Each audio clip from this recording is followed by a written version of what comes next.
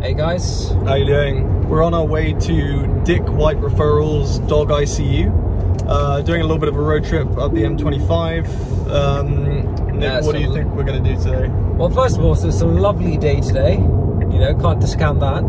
And uh, second of all, Dick White Referrals have been kind enough to invite us to their dog ICU today.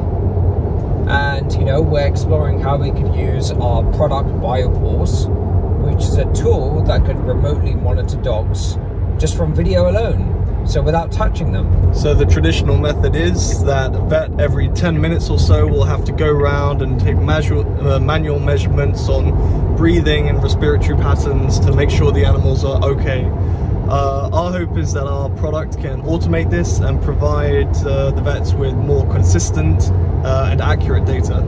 Yeah, imagine if you know these uh, um, these clinicians can now actually see the respiratory patterns of their dogs in ICU in real time without any manual measurements. This is a game changer, first of its kind, and we are just grateful to bring this to market.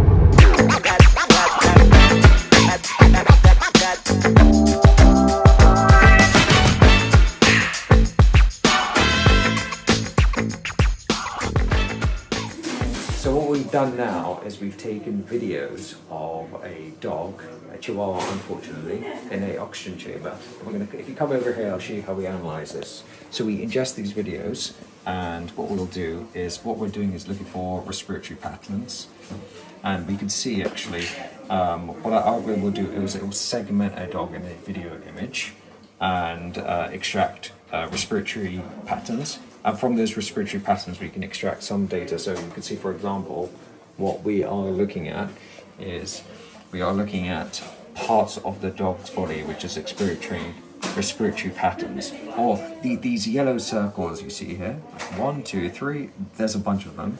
And that's where we're probably getting the best uh, respiratory signals uh, from the dog. And then from that, we can actually measure a signal and extract their respiratory rate. And that's without even touching them, so no irritation to the dog itself.